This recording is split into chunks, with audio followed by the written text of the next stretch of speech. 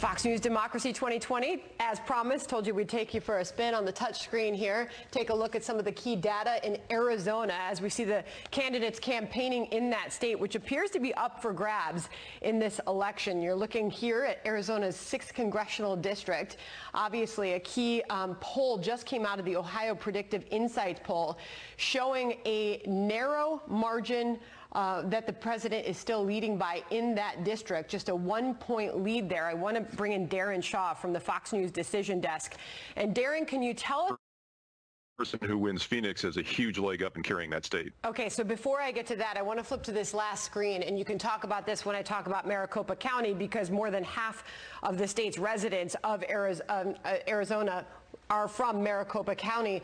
But here is sort of a breakdown of registered Republicans and Democrats in 2016. If I flip this screen to 2017, you'll see 35% to 30% Democrats, and that number that number has grown as far as registered Republicans and Democrats. Republicans stayed the same. The number of Democrats in that state has grown. If you tally it out, in numbers, 270,000 additional Democrats there now, Darren.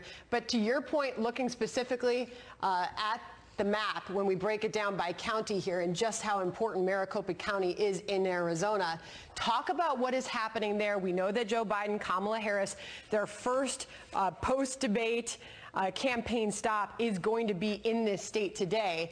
And when you look at what happened back in 2016, President Trump squeezed out a very narrow victory there. You go back to 2012, Mitt Romney uh, pulled off an 11-point win there. So the president still won it in 2016, but it's very much in play this time around. What are you watching there?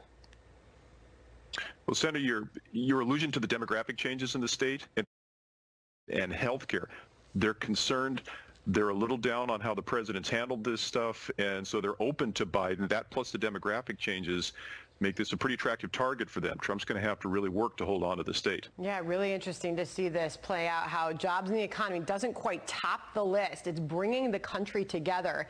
Uh, that got 19% of the respondents there, but COVID, as I mentioned, still a big problem as well. Darren, it was great to take this spin on the touchscreen with you. Hope we can do it again. Thank you. Absolutely. Thank you.